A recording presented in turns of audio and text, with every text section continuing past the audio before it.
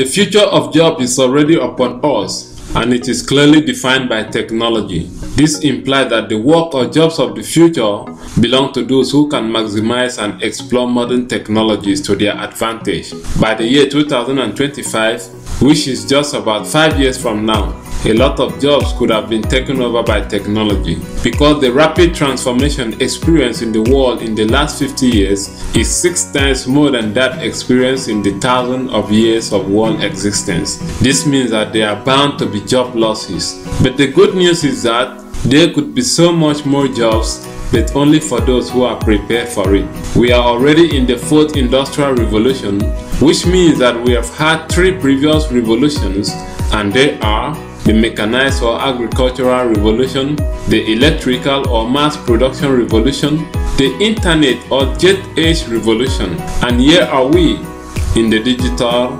revolution.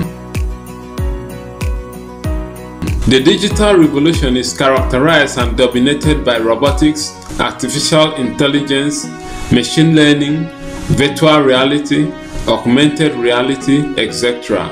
These technologies are already prepared to take away jobs and replace them. For instance, robotics could take care of admin stroke paperwork, clearing, investments stroke financial analysis, etc.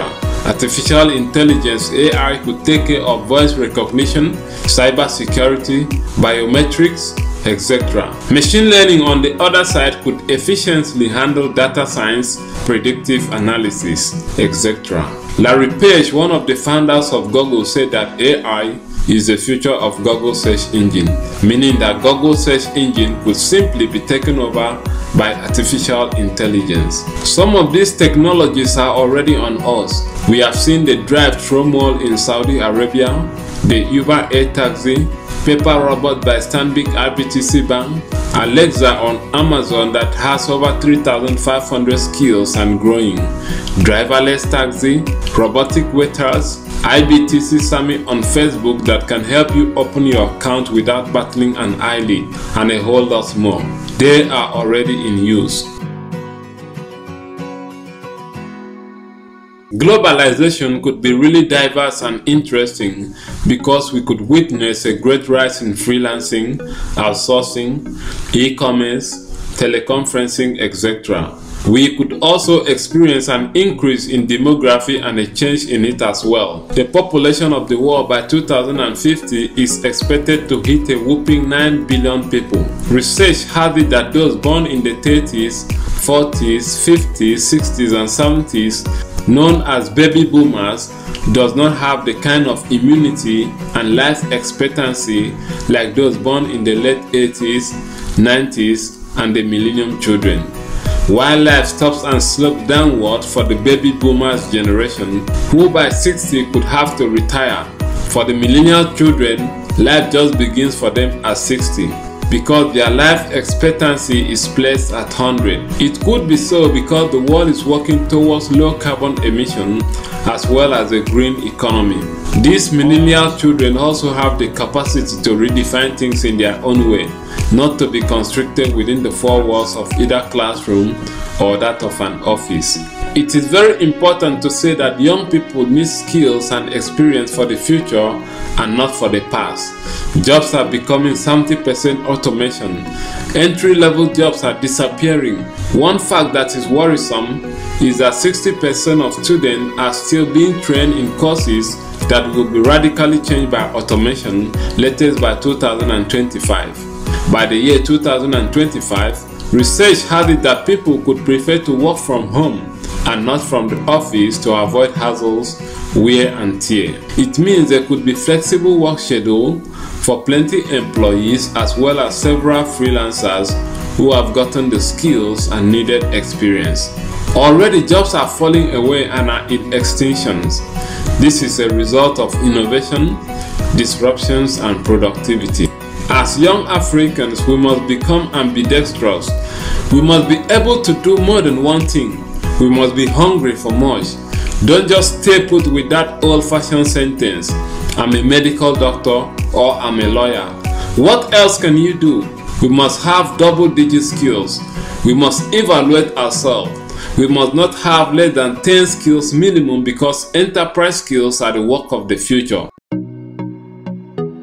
Where are jobs going to be? You may ask. This should guide the courses we could take in the higher institution. If you are a graduate, go back to school either online or on-site and hone your skills. Jobs could be in the following sectors and in this order. Media, entertainment and information, consumer focus, healthcare, energy, professional services, information communication technology, mobility, basic and infrastructure, financial services, and investors. It could be an aberration and self-injustice for a child to go and study psychology, philosophy, history, banking and finance, business administration, etc. Why? Because these courses are already saturated in the market. Hence, employers are looking for something new. Courses like actuarial science, deep learning, neural networks, etc. By the year 2025, creativity skills could be 260% demanded, presentation skills could be just 110% demanded, while digital literacy skills could be 680% demanded. Therefore, you need to learn new things. Learn second languages like French, Spanish, German, Mandarin, etc. Do take note that 70% of the jobs of the future could be enterprise skills. Finally, look for skills that could make people keep knocking on your door and not something everybody is doing. Don't learn from the past, rather, learn from the future. Take actions now. So that wraps up this week's episode. Thank you so much for watching this video. I personally would love every young African to watch this clip. Do well to share this video on your different social media platforms. Don't forget to like, share and subscribe to this channel. Catch you next week with a brand new video. Peace. I'm out.